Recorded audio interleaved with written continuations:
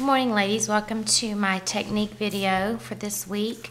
Today we're going to be doing an icicle technique. You can see here, um, I did not make a card for this to go on, I'm just going to show you the actual technique and how to do it. Um, I'm going to leave this here for a second, so if you would like to copy down the directions, you may. Okay, let's see if I can zoom in on that a little bit. There it is. So take a minute to um, copy that down or you can pause your video and get a good look at that. Alright, I'm going to zoom back out so I can actually do the technique for you. This is a pretty easy technique. All you're going to need is Crystal Effects. you will need the Dazzling Diamonds glitter and it comes like this in a container but I like to put mine in a bigger thing it just helps me um, work with it better.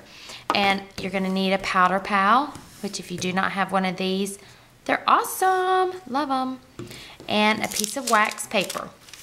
Okay on the wax paper let me get this black piece so you can see what I'm doing. You're going to take a um, piece of wax paper and you're going to draw a line. And this will be however long you need your icicles to go.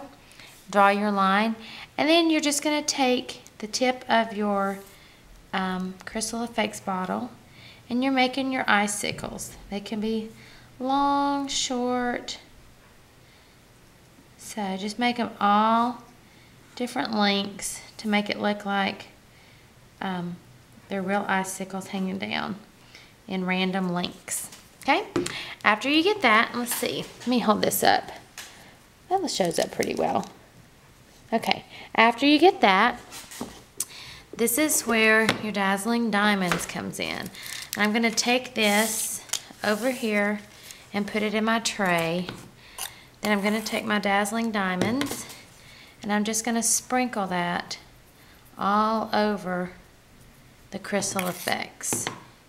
Okay? And then we're gonna shake that off. Dump that, get the excess off. And there you have your row of um,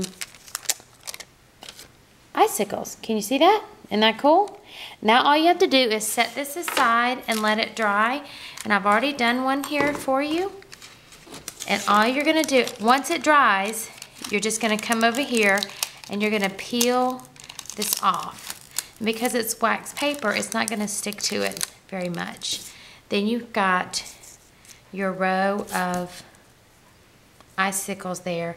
And then all you would do, and I would also do, take the Crystal Effects.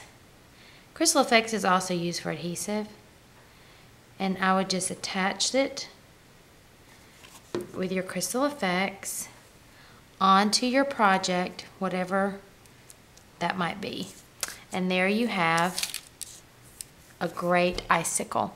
Hope you enjoyed it. If you have any questions, feel free to call or email. Have a great day. Toodles.